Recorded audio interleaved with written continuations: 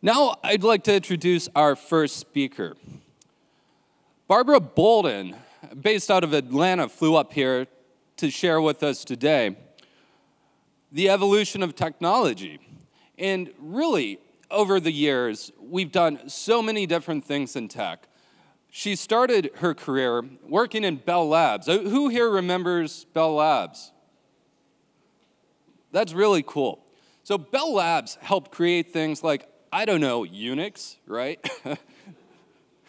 the thing that later evolved and helped influence Linux, which runs many of the things we do today our phones, the internet, right? Well, Barbara uh, worked at Bell Labs, and uh, during her time and in her career, she's worked at many different organizations helping with technology innovation. And she's going to share her experience with us today. I'm really excited to learn from Barbara and the evolution of technology. Big hand, welcome Barbara to the stage.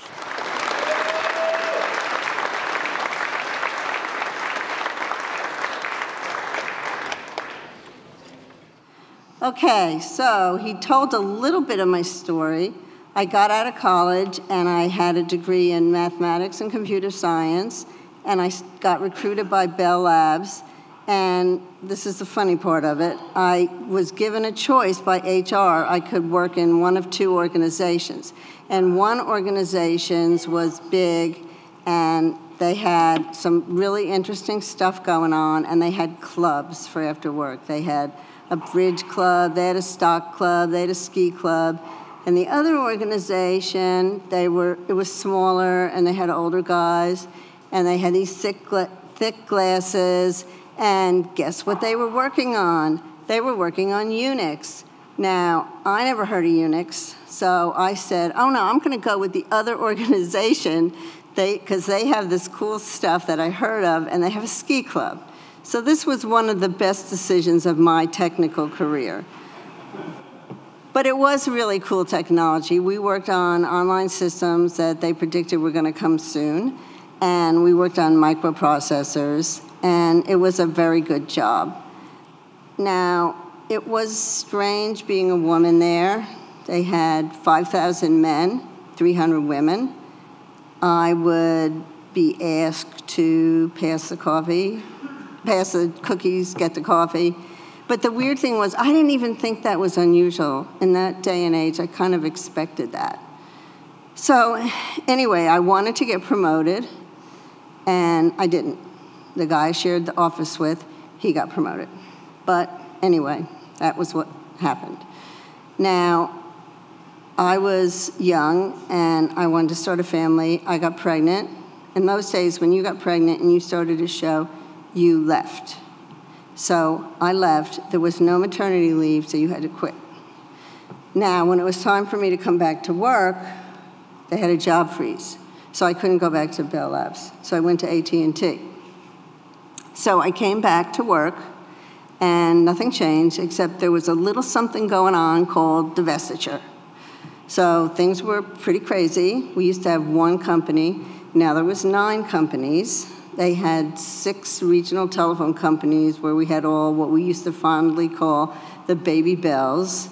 And um, they had three companies for the one was a consumer, one was for business, and one was what they called long lines, which was the network. I was in the business part. So, since they were basically trying to figure out how to handle all this, we had a lot of reorganizations. And whenever they would reorg, they would move our cubicles. We would have to go to different cubicles because they had to have different space, they had to have different territories. And we would move our stuff. Now, nothing was online, so we had like this pile of manuals to work out of. So we would put our manuals on our chairs and we would be like wheeling them around like little mice with their mm, their little nuggets or whatever. And so this went on for about 18 months. And this is absolutely true, I swear. Once I absolutely wound up in the same cubicle I had had before. What would be the odds. But you know what? It was actually a really good place to work for a software engineer because I got to work on so many projects. I never would have had those opportunities in a normal environment. So one of them was the customer record database for AT&T. Now this is a big deal. But what they had done, which if you know anything about database design, is not a good thing to do. They made the key telephone number. So you're never supposed to have your key be intelligent. But what was even worse was they had no control over the telephone company. The telephone companies had control over the telephone numbers. So one day, one of the guys on the team comes rushing in and he's all upset and we go like what's the matter and he said they're adding a new area code so we have like mass panic. So we worked like, you know, for three days straight, 24 hours. God is solved. But I think we learned not to make our database keys intelligent and not to base them on anything we had no control over. So that was one incident. Another thing that was kind of interesting was that I would always be sort of unusual. So I, this time I was on the order processing system. And I went to my team leader and I said, you know what? I would really like to see what this, this system looks like to the end user. And he's like, well, what are you talking about? And I said, well, I think I could write a better code if I had some idea of what this looked like in context. And he's like, confused look, and he goes, get back in your cubicle and do your work. So that didn't happen.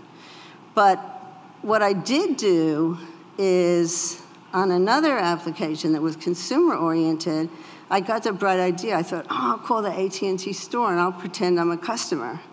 So I did that, and then I really did get a view of what the system looks like to the customer, which in this day and age, that's like incredibly hard for us to understand that, you know, we wouldn't want the application programmers to not know what the system looks like.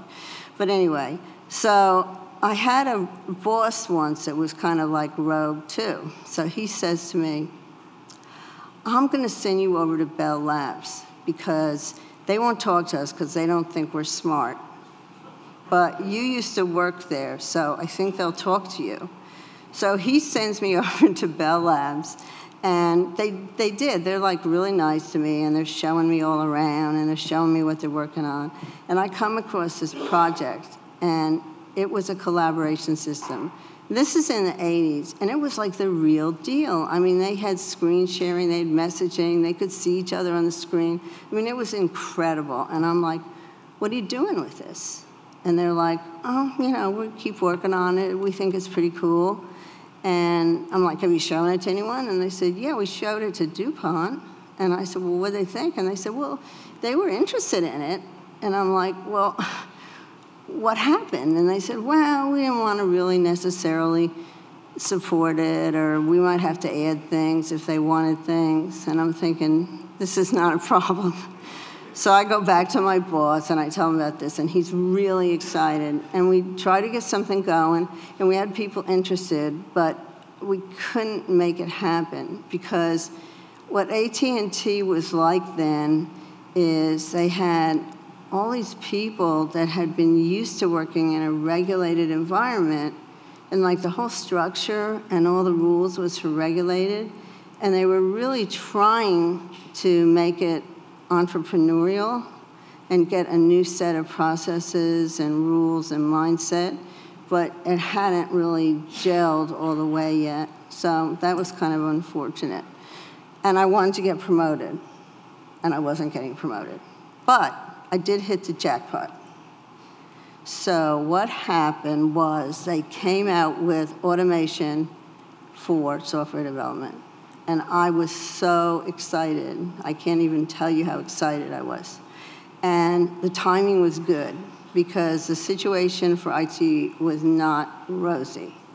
The, um, the managers were starting already to get concerned I'm sorry, my throat's a little dry, so if I sound funny, I apologize. um, the managers were already starting to get alarmed there was so much legacy programs. the executives were starting to notice the IT budget. And the programmers themselves were like, we're kind of tired of being woken up in the middle of the night because operations can't understand our run books. You all know what run books are. Yeah, yeah, no, yes? Okay, good. Anyway, so I was able to convince my district manager to buy some of these tools. So I thought, this is great. We're going to use these tools. Everything's going to get better. Everyone's going to want it. It's going to be piece of cake. Not so much. What do you think happened? Everybody was like, I'm busy. I don't want to hear it. It doesn't fit in with what I'm doing. Go away. Not today. Why are you bothering me? I'm sure everybody here has heard their own version of this. This is the typical conundrum that we all face with the culture thing. So I figured out I had a culture problem on my hands. But I did, oh, thank you. I did um, enlist the help of a couple of people, and we put together a plan to set about and affect a cultural change. And that story is a whole other presentation. So I'm not going to go through that, but I did write a book about it, and it is on Kindle. Little plug here. You can buy it. It's outdated, but I think if you read it, you would recognize yourself and recognize the situation. And um, one thing I want to share from it, excuse me,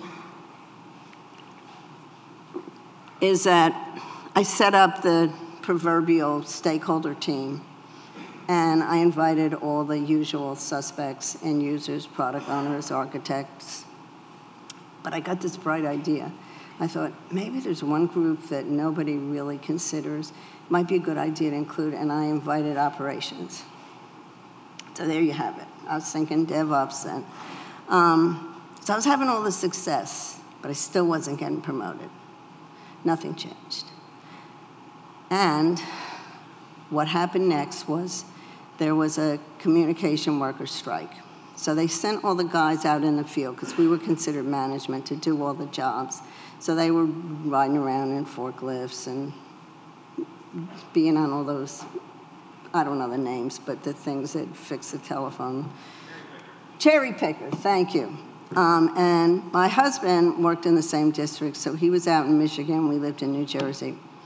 So one day, the district manager, who was a had a good old boy buddy system friendship going with my husband, came over to my desk and he says, "Hey Barbara, I was talking to your husband last night, and he and I said to him, you better be calling Barbara all the time, or she's going to be running around here with bright red lipstick and no bra." And I could not believe my ears. I mean, here I am, I'm a software engineer.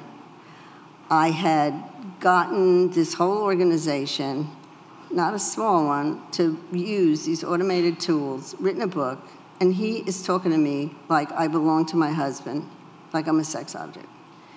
So I thought, I'm not getting promoted, I'm being talked to like this, it might be time to leave. So I head on out to the Silicon Valley. I go west. And now I am working on the business side of the industry. So I'm doing all these software deals. I'm doing acquisitions. I'm doing resale deals. I'm like big girl. I'm working with the big boys. So uh, some of the stories that I'll share are just there's a ton of them, but a couple that are interesting is I was at a meeting at Intel, and there was probably 20, 25 vendors there. And Intel has this big PowerPoint, and they're laying out this big program, and they have like this whole 12 point plan. And the gist of it is they want to take down Microsoft. And I'm like, yeah, that worked out well. and then another time, one of the guys that works for me, he comes running into my office and he goes, I got this guy on the phone, and he's putting together these components and building computers. And he wants a copy of our product, see if he can get it to work on his computer. And I'm like, who is this? And he said, Michael Dell. And I'm like, oh, I met him. He sounds like a guy that's going places. Give him a copy of our product. So I'm thinking, okay, this makes up for the Unix debacle, a little bit at least. Um, and then I worked for this guy that was definitely an eccentric genius. And I think to build a product that is a success in the Silicon Valley, you've got to be eccentric. Now, this guy was from the UK, and we would have meetings there, and he had this thousand year old house. I'm not exaggerating. And it was like a big rectangle, and it was had a great hall, which, if you don't know, has a hollow center, and all the rooms are like around it. And in the center of this, in the Great Hall, he has this giant trampoline. And they had this great big fireplace. And in the fireplace, he always had a fire. Like in July, there would be a fire. And he would have this thing where whenever we were meeting with another vendor, they had to come to him. He would not go to them. Now, this is in the 90s, and if you're going to demo your product in the 90s, you're not bringing a laptop top and a thumb drive. You're coming with, like, you know, carts of equipment. This was no small feat. So, oh, and he had these giant sheepdogs, these huge sheepdogs. They were like filthy, and they would be like jumping on the tables and getting mud all over and throwing the contracts around. It was like, you know, a zoo. So, one day we're going to have this meeting with these guys from Belgium. He wanted to add sound to the product. So we're all waiting. It's like, you know, like 15 people waiting around for three, four hours. He's not anywhere to be seen. Finally, he shows up in this helicopter, which lands on his lawn, gets out of the helicopter, hands me two bottles of, you know, I don't know, $200 wine, whatever it was, and says, All right, go in the library with these guys and don't come out till you have a deal. These guys like barely spoke English, and I certainly didn't speak German, French, whatever it was.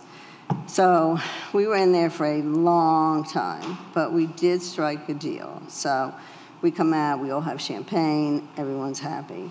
Now, the thing of that job was I was making these deals where they would expect to pay 10 million and the company I worked for was the, the company I worked for was expecting to pay 10 million, and the vendor was expecting like at least 100 million. So somehow I had to make these deals happen. And I usually did, but I couldn't get promoted. Even though I'm working with CEOs, I'm still a manager. So I figured the only way I am getting promoted, I am breaking through that glass ceiling, is to start my own company which is exactly what I did. But before I left, I do just want to share a dark side of the Silicon Valley, besides not getting promoted. But, and you all know that, you've all heard the Google debacle, but there was a lot of sexual harassment. And like one night I was having dinner with this guy, and a vendor, and I think we're having a business meeting. He thinks that we're having a date. And at the end of the dinner, he says to me, I'm married, I'm not getting a divorce, but I'd really like to sleep with you. And I'm like, does this ever work?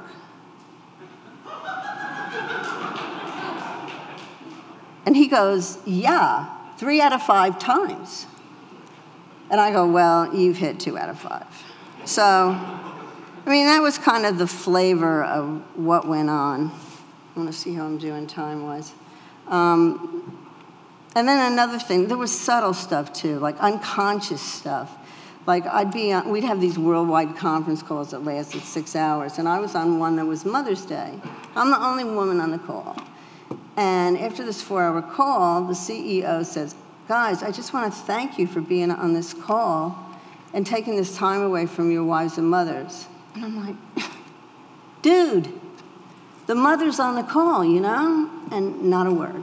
And, you know, he didn't mean that to be mean or anything. It's just like, let's think a little.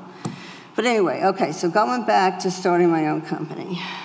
Okay, so I headed back east. We bought 40 acres in West Virginia. We're doing it on our own, so we're really scrapping around. We're eating ramen noodles, we're living on credit cards. It was rough. In fact, we made friends with the people next door that had a farm, and they had some extra steak that they got from an old cow they killed. And I want to tell you, this is me, right? It's not ramen noodles. But we literally had to stew that thing three days. So, um, but we were able to build a product that, you know, I thought was pretty awesome. I mean, this is like, you know, more than 15 years ago. And what it did was it took a slice of a relational database, perfect slice, and it and it was Oracle SQL Server. We were working on DB2, and it dished it up to the internet, and a user could do whatever they wanted with it. And we used XML. So we're using SQL, XML. And I know that doesn't probably sound like much now, but in those days, that was, you know, big deal stuff. So we now need money because we got to sell this, we got to market it. So we go out to get venture capital. Now, I know it's hard for women to get venture capital now, but it was really hard then. But we did it. We got three rounds of venture capital, 12 million. And, you know, I didn't think there was that much overt sexual problems there. Um, there was some subtle stuff, like I went to visit a venture capital guy, and he said, I really wanted to meet the woman who got this far. Okay. And the venture capital guys we had, they had a whole series of CEOs that they had invested in, and they would introduce them to Fortune 500 companies to help them sell, and we never got an introduction. So that was kind of there. And, but we had a really good run. We had some good customers. We had First Fidelity, we had U.S. Treasury, um, ADP. Then the dot com bubble burst, and we bit the dust. So at this point, I'm kind of tired. I need a sabbatical. So I went and taught high school math for a while. And then my daughter, Karen Lawton, I call her the serial entrepreneur because she helped me start InfoShark, had started SG Technologies, which does consulting, services, and workshops for DevOps and DevSecOps. And she had started this company, and she recruited me and I went back into this business and I'm working on DevOps and DevSecOps and I love it. I really love it. I work with John Willis. I, I want to say that this community is very welcoming and I enjoy working with you. And I'm just really encouraged at the atmosphere of inclusiveness I see. All right, has anything changed? Well, I mean, I look around the room, I don't see a lot of women, so that makes me sad. Um, I recently heard that the numbers are going down. That makes me sad. Um, but I wanted to share something. I was giving this presentation, and afterwards, some gentleman eh, said to me, My daughter is really interested in computers and math, and I feel nervous about encouraging her. I don't want to put her into a hostile work environment. What are your thoughts? And I said, Well, if I had it to do all over again, I would not hesitate for a minute. So I think that is hopeful. And I would really love to hear people's thoughts. And if you email me, I promise I will return your email. And I want to say thank you. And these are my three amigos. That's it.